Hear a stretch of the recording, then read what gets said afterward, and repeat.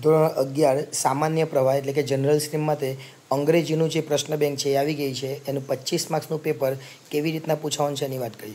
તો સેક્શન એની અંદર છ માર્ક્સ, એકથી છ પ્રશ્નો પૂછાશે.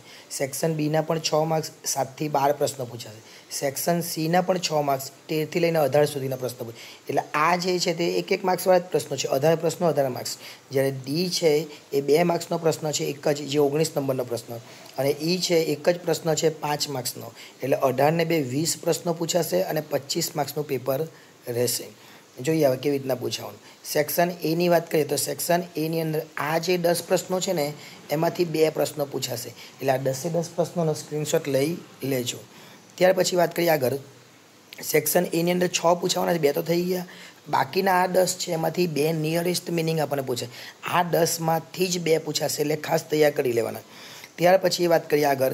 આ જે છે, એ ખાસ ધ્યાન રાખજો, કેમ કે આ અંદર મૂકવાનું રહેશે અને એમાંથી કોઈ પણ બે કે તો તો આપેલા કેટલા છે? દસ. આ દસમાંથી કોઈ પણ બે આપણને પૂછવામાં આવે. હવે સેક્શન બી સેક્શન બીની વાત કરીએ તો એની ટુ અને થ્રી પેરેગ્રાફ એની થ્રી પેરેગ્રાફ એટલે કેટલા પેરેગ્રાફ એક આપેલો છે, બે છે, ત્રણ છે, ચાર છે, પાંચ, છ, સાત.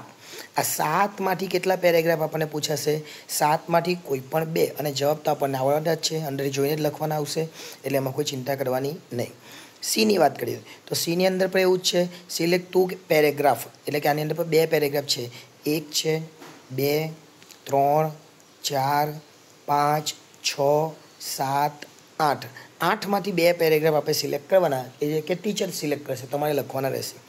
સેક્શન ડી હવે આમાંથી એક જ પૂછાશે. ડુ એઝ ડાયરેક્ટેડ એમાં આપણને ટોટલ કેટલા? સ્ટાર્ટ લાઇક ધીસ જેવા એક, બે, ત્રણ, ચાર ને પાંચ આપેલા છે. આ પાંચમાંથી કોઈ પણ એક તમને પૂછાશે અને ઈની અંદર છેલ્લે પાંચ માર્ક્સનો એક પ્રશ્ન છે, એટલે આ પાંચમાંથી, આ છ આપેલા છે, છમાંથી કોઈ પણ એક પૂછાશે, જેના કેટલા ગુણ રહેશે? જેના પાંચ ગુણ રહેશે. પરંતુ આ પ્રમાણે જો તમે તૈયારી કરીને જાઓ તો તમને કોઈ પણ જાતની મુશ્કેલી થશે નહીં. આભાર.